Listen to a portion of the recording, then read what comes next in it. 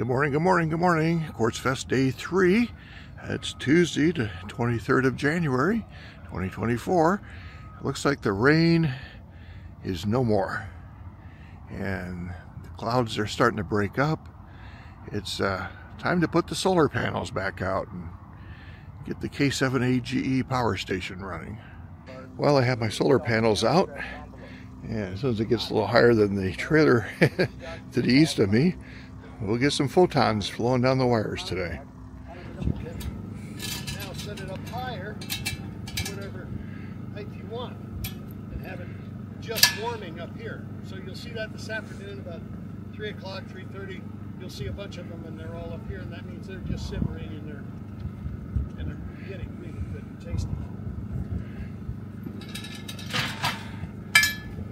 Um, oh, yes sir. I was going to mention that I've used it over the years, a metal oil change pan for fuel. Yeah. I was You can find them. Yes. Yep. No, I have, I have the same, yes. So now let's talk about, all right, now I've cooked, and here's a dirty pot. Don't ever use detergent. Don't ever use any kind of soap. Why? Because the reason that cast iron pot works is you season it, and what seasoning is, you take lard or whatever, and you burn it in, and that forms a thin layer of, of carbon pure carbon around the inside. It does two things. Number one, it really makes the food taste better. But number two, it protects the, the metal from, from rusting and from uh, uh, imparting any impurities in your food. So you want to always make sure that, that the inside stays pristine and just carbon. Well, the worst thing you can do then is use soap. Don't. The pioneers knew it all. They'd go get a handful of sand out of a wash and scrub it. That was it. Well, nowadays, of course, they have this wonderful thing called a Scotch Brite pad.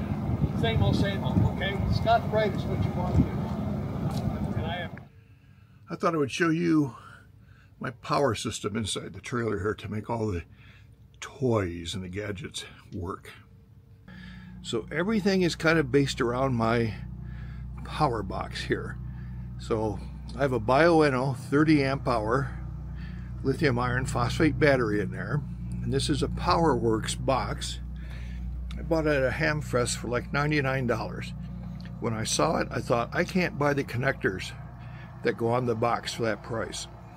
So standard with the box was one connector here with two power poles, a voltmeter as a switch.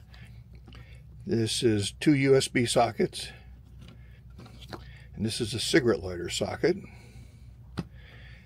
and two binding posts. Post.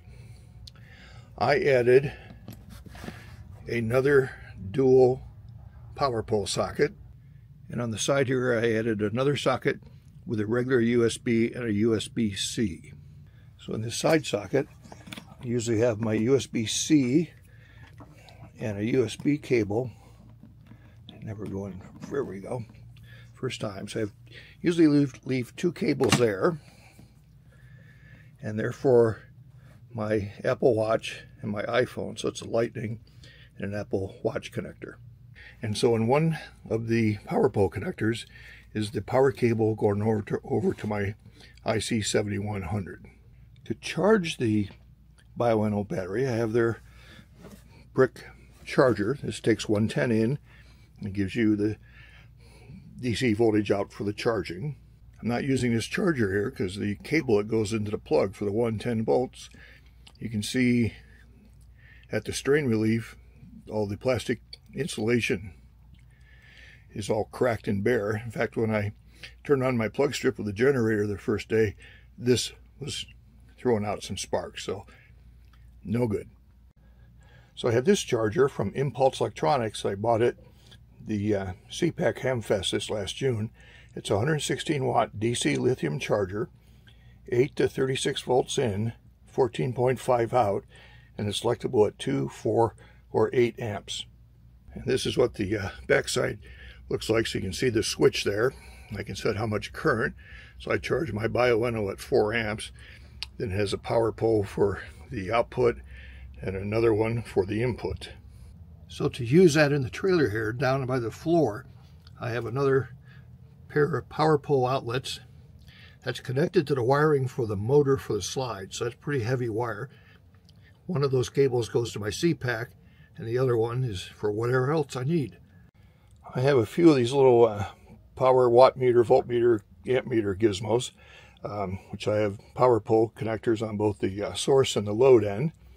I bought about a half a dozen of these things a few years ago, put power poles on them, and I gave out a few of these here at uh, Quartzfest to some of the people in our gang. So I have it plugged in now. You can see it's lit up down there, red LED. And it's in the charging mode. So it's showing three, well, it's just going out of the constant current mode and going into the constant voltage. It was showing 4 amps. Now there's 1.7, 1.6, so it's dropping down. The voltage is 14.44. The battery says here 14.45. So there it is, less than an amp now. So that was kind of, the, the battery was basically fully charged and it's just going into its uh, trickle or standby mode. My laptop is charged using a USB power source, so it, you know it has its 110 volt brick. But if I don't have the generator going, I have an alternative. So this is a uh, charger I bought from PowerWorks.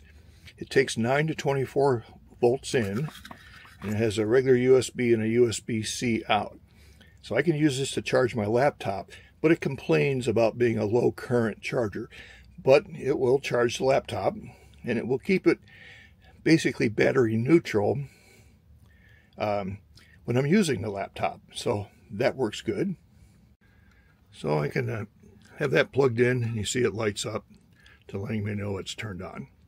That's three power pole things plugged in. This is an old Kensington uh, 110 volt AC inverter with a with a USB. I've had this thing for I don't know many many years, so it's uh, it's another way I could charge the laptop top if I wanted to use the uh, 110 volt brick. I can use this for an AC charger to charge up an HT, and I can use this to power the TV in the trailer here when I'm out at a place somewhere like this. So it's kind of handy to have, and again, just another power pole connection. So this is a little voltmeter uh, module I put in an Altoids can, and uh, built this many years ago. I think I have a video about this. And with a power pole connector, I can plug it into the battery, into the uh, plug down by the floor, look at the um, trailer battery, or plug it in in anything. So it's kind of handy to have. Have a switch on it to turn it off. It's pretty bright at night. It'll light the whole trailer up. And then I usually leave a couple more USB cables in here. This is a C that I use to charge this camera, and this other one uh, I think I used to charge a flashlight or something. So this becomes my power distribution uh, system for the trailer. Uh, couple uh, power pole extension cables to get to different lengths of things, but uh, this really works handy, and I um, it's probably one of the better ham radio investments I ever made was putting was getting the battery and making putting this box together. It is so handy to have. One of the pots here that's on the uh, on the grill, uh, please come and tend it because there's nobody here that knows what you're cooking and how long you need to cook it. So those of you who have pots on the grill, please come over and tend it.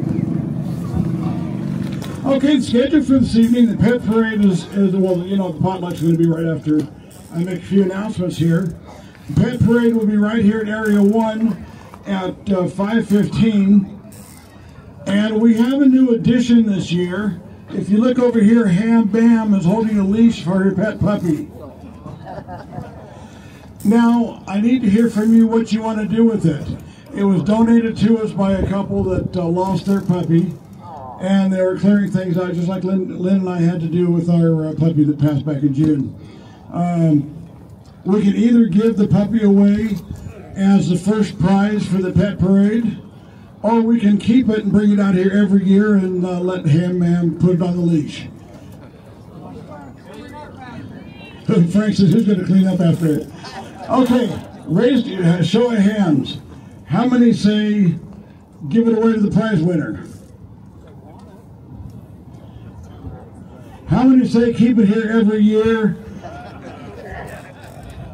I guess the ayes have it. I want to recount. A recount, yeah. So I apologize. They were greatly lost. It took them longer to find the campsite once they turned off of uh, 95 than it did from Phoenix to here. Uh, needless to say, uh, testing is going on. It's going on presently with uh, three additional applicants in the RV right now. The only way that keeps uh, amateur alive and thriving still in the hobby is keeping people licensed and getting beating that ham radio drum, making sure that people have opportunities to test. They have materials like from Gordo, and uh, show and be a good ambassador always is what we want to try to encourage you to do to always promote the hobby in a favorable light. Um, first impressions mean a lot to these people coming into the hobby. Okay, so I'd like to introduce Robert to share his ex- uh, unique experience on his flight last night from Maine. Thank you very much, Stephen. So yeah, the- one of the unique things about remote testing is it's an excellent opportunity for the applicants to avail themselves. Is that better? There we go. You think I would know about RF? One of the unique things about remote testing is it makes it possible for applicants who don't have access to an in-person session, which is more people, well, you guys probably understand, but most people don't realize it. They have to wait months to get an in-person session. Whereas with just a computer and internet connection and Zoom, they can avail themselves of that opportunity to take advantage of this outstanding hobby. Well, also for volunteer examiners, it gives us an opportunity to give back to the hobby. Uh, like for myself, living up in the corner of New England, or as they say, I live in a dead end state. Um, I get to test with all of you people and test people not only all over the country, but all over the world. It's a great opportunity. I've helped servicemen overseas and whatnot get their amateur radio licenses.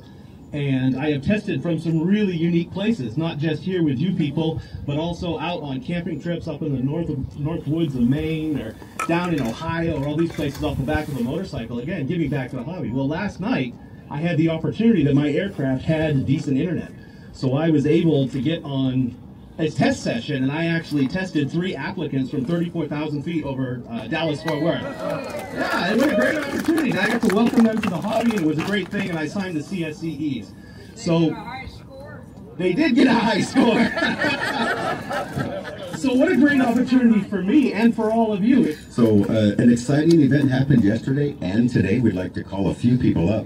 Uh, Mr. Daniel Squire, if you're here today, will you please come up and get your, your certificate of successful completion of exam?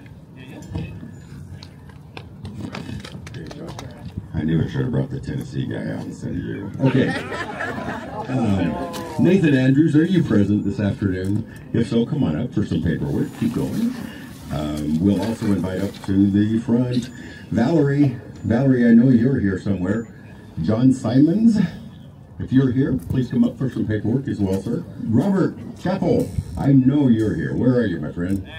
Come on up here.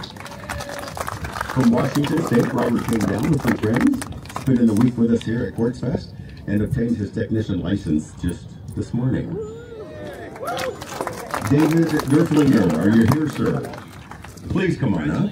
The nation's newest amateur extra operator, right here. His license will reflect that the flat database. Jeffrey uh, Mixpladen, Mixpaden. Um, next, Barb, I saw you. This one's special. This one's special. Barb was elated yesterday, and uh, what, what, uh, what, how exciting! So excited. Hey, you, Barb. Barb. Was one of the people I tested on the road. Congratulations. All right. Raymond, how are you here today? Raise your hand so we know if you're here or not. Come on up, Raymond, please. Okay, we, not that we saved the best for last. This actually was an accident. Um, he passed all three exams this morning with us. To the technician, his demo, and his amateur extra. So congratulations, sir. As a retread, you're coming back into the hobby, and it can't be a better time. Russia, Asiatic Russia, Hawaii, Brazil, uh, Western Sahara, France, South Korea, Australia, South Africa, Angola, Malawi, China, Indonesia, Estonia, Uruguay, India, Ukraine, and that's part of it. So uh, I'm really impressed. We got some, obviously, some DXers here. That's what our club's all about. Every time you enter, you get a chance to win the stepper antenna, the one that's above the uh, trailer, the special event trailer, and $1,800. So even if you work uh, Canada, you have to work something in the way of a DX entity outside of the continental USA. So if you work Canada three times in three days, you're in there for three entries for that antenna. So to give you some results, we have the Bioenno batteries and the chargers that we're giving out for the winners of the first day, and I will uh, announce those here in a minute. Okay, I'm going to start with the uh, special event trailer. Uh, using the Comet vertical that we have set up out there, we bought for our club as a quick deploy antenna. Wasn't sure how well that would work out, but somebody with the call sign of Kilo Oscar 4 Yankee India November. Lori, are you here? There she is. Lori made the longest contact the first day. I'm, kind of reluctant to tell you the distance of all these because it might discourage someone. Um, pardon? She worked uh, Angola. The next one in the class is uh, Class C, QRP. Uh, this person also worked Angola. And it's November 6th, uh, Golf Echo Oscar. George, are you here? Nice work, congratulations. And Class B is the uh, FT8. And surprisingly, we didn't. Uh, FT8 was not really the largest amount of applicants for this contest. And I love this one because the, the contact was made using a ham stick. And I can tell you it's the longest of all four categories. And we'll uh, Kilo Charlie 5 Quebec Oscar Charlie come in? Uh, John, are you here? It's impressive on the ham stick. So don't think you have to have a big antenna to, to do this. Congratulations. Bill Mater, are you here? Kilo 8 Tango Echo. Congratulations, Bill, and thank you. And uh, here's the trap dipole. So that's beginning, and you got to remember bio Bioenno. Look who I found. Really? That's it. You do, sit here and. Yeah, he's Mike- got his too. Yeah, Yeah. the camera, camera. There Yeah. go. What are you doing, Randy? It's going good, Bert. yeah. Jerry, you go camping and you bring. This is essential camping gear. when you come out to Quartzsite, you have to have your Tektronix mixed domain oscilloscope, RF that can be triggered from digital inputs, Wow. plus, you know, it can do a logic analyzer. It's everything you need for your Quartzsite camping needs. And uh, so none of these $500 Chinese scopes. Huh? Chewy, chewy. Yeah, Chinese-made American scopes. I assume. Cool. assume. Yeah. Where was this? We have another project here. There's a 40 meter ham stick, radios all over the ground. They got it resonant, but the SWR is like two to one, so that's more like a 100 ohm impedance. So they're they're fiddling with a coil here now. Wound on some some little bottle. So we shall see. Quiet on the set. Take one. So when we're lowest SWR, we're about up there, 70 ohms. So is the radio happy? Have you hooked it up to the radio yet? Haven't hooked it to the radio Oh. yet. Gotta get power out. The radio was not, well, I was getting a very high reflected Yeah. power, like 10 watts reflected. Mm. you know, out of 50. so, More experimentation needed. so anyway, that was. Uh, Finally got some sun on my panels today. Getting about eight and a half amps. Tomorrow should be better. The honey wagon shows up. Uh, didn't bring one out, sorry. Okay, so Barry's got the, the ribs on the Barbie. Gulping them up with the sauce. I've got two Barbies here to hold the ribs. Everybody's in dinner standby tonight. Waiting. Happy hour. Yeah. I just want to get them really hot. Get the sauce on. See, that one burned down already. Yep. Gotta watch that. Nice bread. Cut the bread. Cut the bread. Butter them all up. Getting them buttered. They're sizzling. Yeah, and not getting as warm inside yet. That's why I've got the oil. Pleased with how they're coming. Just getting a little extra black because of the sauce. And the sunset tonight. Quartz Fest Rainbow. Jerry and Amy's kitty. Watching the rainbow. Who's ready? Who's ready? Any ones you like? Doesn't matter, doesn't matter. How many you want? Four. Four. Two, three. There you go. I'll take that little chunk you're just touching. Wonderful. Come back for more. How many you want? I'll put a tip jar out there if you like. Beans, beans, good for your heart. Well, it's gotten pretty quiet out here. Everybody's chomping away. Yeah. Thank you, Barry. Very good. Everybody's busy eating.